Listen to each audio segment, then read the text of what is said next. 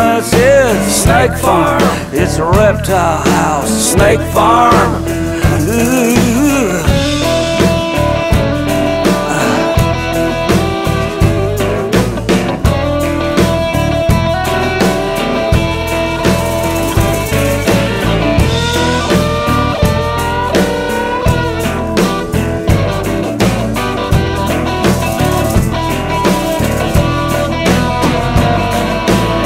Sometimes Ramona calls me up and says, Come on down here, it's getting warm.